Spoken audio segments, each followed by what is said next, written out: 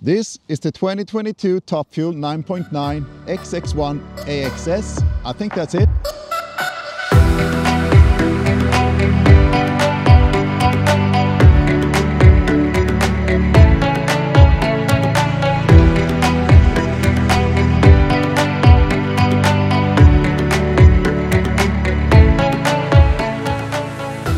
This is probably one of Trek's most important models in recent years.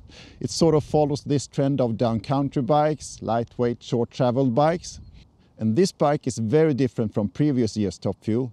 It sort of eats into the Fuel EX space a little bit, at least if you look at the geometry. The travel now is 120 in the front and in the rear, but you can upgrade your Top Fuel with the 130mm fork up front and still keep your warranty intact. Now this is the top end version of the top fuel and it costs around 13,000 euros, something like that. And I'm not even going to comment the price on this bike. If you want to have the best of the best, uh, this is it. But I'll try to look through the bling and uh, all the nice features that this bike has and try to see what this bike actually is about. The Top Fuel comes in very many different models, both in aluminium and in carbon, and I actually did test the Top Fuel 8 six months ago, just for a quick ride, but that tells me that the feeling between the lesser models and the bling models are quite the same.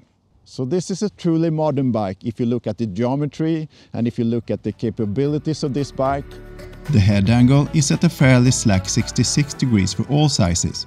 The reach is rather long at 480mm in size large and the chainstay length remains at 435mm as with the previous Top Fuel. All solid numbers for a short travel trail bike. I am 185cm tall and size large is spot on for me. The medium large felt just a little bit too short, but it could work with some minor adjustments. But what stands out with this bike is how well it pedals both the aluminium version and the carbon version, they pedal about the same. So they're both super efficient uphill and there's absolutely no pedal bob at all when sitting down. And I remember when I was testing the Top Fuel 8, I thought I had engaged the lockout. And the rear suspension is almost as if it is in uh, a lock mode. I actually need to, to check that. No, it was correct. But it turned out that this was just a really good climber. And I don't know if it climbs that well because of that ABP system or if it's because of these pivot points up in the front there. We'll get back to that later. But one thing that makes me scratch my head a bit is that low front end over there. And let me show you. Now the front end of this bike, the stack height that is, is actually lower than on the Specialized Epic Evo, which really leans into the cross-country segment a little bit more.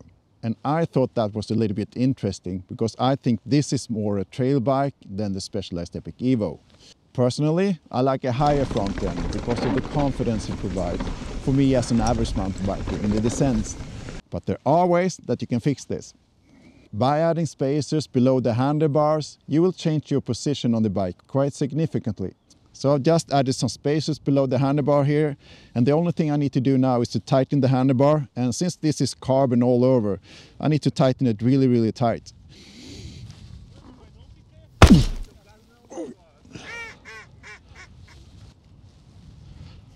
yeah, seems to be some sort of a manufacturing fault. So how much is it then? no, I'll fix it. I'm a professional, goddammit.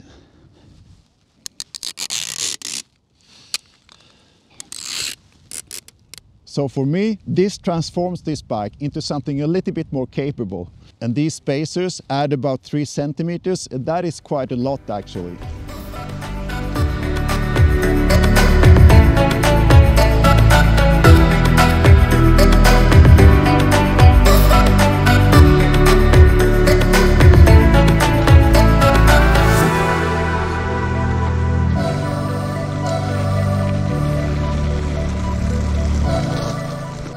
Let's talk about suspension here for a little bit.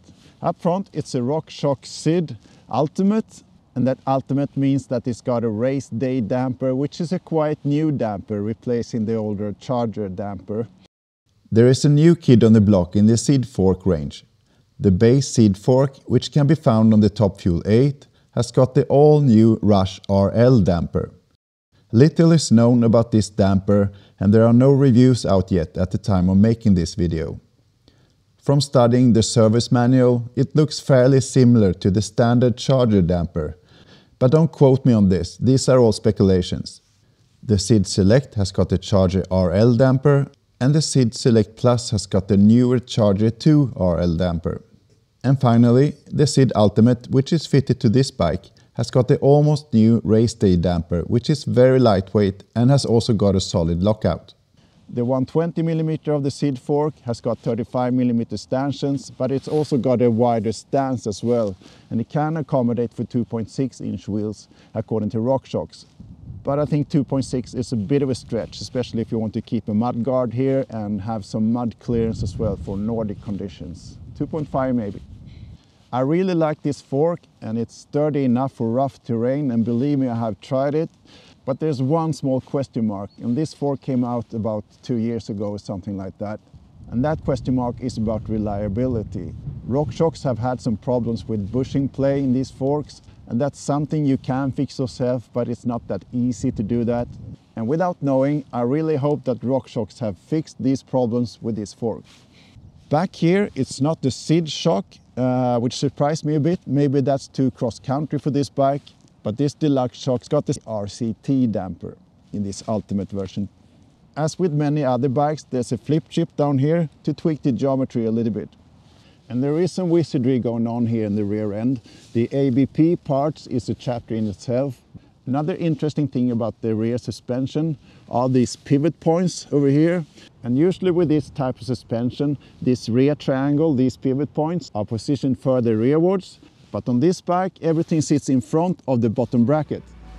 Just to clarify, the ABP system aims to separate the rear braking force from the rear suspension. By using a concentric dropout pivot at the rear axle, Trek can mount the brake caliper on the seat stay since the seat stay rotates less than the chainstay throughout the suspension travel, this will almost eliminate any so-called anti-rise effect. In other words, the rear suspension will not firm up when using the rear brake. I suspect that the ABP system has little effect on the pedaling efficiency, but it must work in conjunction to other suspension systems. The forward placed suspension linkage is probably what affects the pedaling performance the most, from what I understand, this design helps keeping a consistent anti-squat throughout the travel.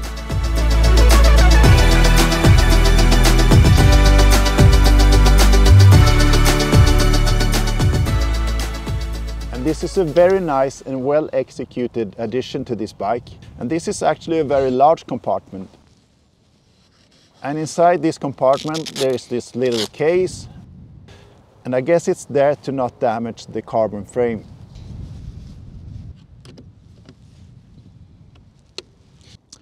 Now the drivetrain of this bike is very special of course. It's the XX1 AXS system, the wireless system. I'm not going to talk too much about it, but it shifts very well of course and it's very lightweight and it's made out of exotic materials.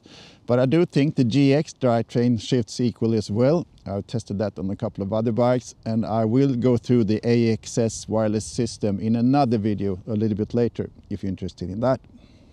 So great range and flawless shifting, there's nothing else to be desired. And this bike has got that new shifter, which is a welcome addition, which ergonomically feels a little bit better. And there's an app as well, of course, to tweak some settings like what button is up and down and to tweak the indexing as well. So there's a lot of adjustment possibilities. But I think as soon as you set up everything once, you can forget about that app and just enjoy flawless shifting at least until the battery runs out. So the brakes on this bike are the SRAM G2 brakes. These are the Ultimate Edition. They've got carbon fiber levers and there are bearings rather than bushings down here. And it's got some adjustments as well, of course, to adjust the bite point and uh, lever stroke, etc. Now the G2 brakes replace the guide brakes and this is sort of the second generation of guide brakes. And I think these brakes are a mixed bag really. It's got great adjustment possibilities of course. And SRAM has improved everything about these brakes and uh, moved the bar up a little bit from the guide. But it's not the revolution. I prefer the code brakes, but I think these brakes are here because of the weight. I personally like the code brakes a little bit more because there's a lot more bite to them. There is enough braking power for this bike with these brakes, but you need to pull these levers a little bit harder to make it stop. The tires on this bike are the popular in-house brand Bontrager XR4s, which is a clear step towards trail tires than what used to come with the Top Fuel. The XR range is still within the cross-country segment, so don't expect enduro-like performance, but rather a fast-rolling all-round trail tire. I think the tires also explain the weight of this bike, which sits around 11.3 kilos in this top-end version. I know that some complain about that the weight of some of the top fuels exceed the weight of the bigger brother Fuel EX, but I'm not too concerned about that. First of all, the geometry and the sheer size of the frame is probably one explanation for the weight increase. And of course, chunkier tires add to the weight too. All in favor for a more durable and confidence-inspiring bike. It's still a very snappy bike, it's quick to accelerate and easy to maneuver. I almost forgot about the dropper, and this shows that not even Trek is immune to the global component crisis in the world. And uh, this bike has actually got a RockShox reverb dropper. It works perfectly fine, but it should come with the AXS dropper, uh, which this bike doesn't have. I saw another bike at Trek store in Gothenburg, which is identical to this bike, and that bike did have an AXS dropper. But right here is a normal reverb. Here are three annoying things with the Trek Top Fuel. This saddle and I, we are not friends. A personal thing of course, but I have tested bikes with this saddle a few times and it doesn't get any better. A lovely fork which sits perfect on this bike. I just hope that RockShox can get to grips with the problems around bushings play. I just have to comment the 13,000 euro price tag, don't I? Luckily, the price starts from a more reasonable 2,800 euros for a Top Fuel 5. Here are three good things with the Trek Top Fuel.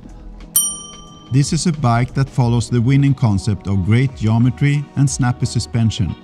That's a recipe for loads of fun in almost any terrain. A minor detail perhaps, but this is such a useful storage that doubles as a bottle holder. All bikes should have something like this.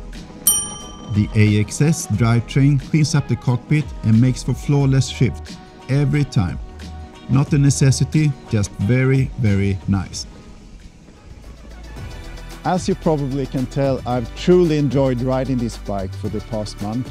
I only have a few minor complaints, but the most important part in a modern trail bike are there, and that's the geometry, how the bike rides, and also how very efficient it pedals. To me, it's important how confidence-inspiring a bike is and how fun it is to ride. And the new Top Fuel ticks both boxes.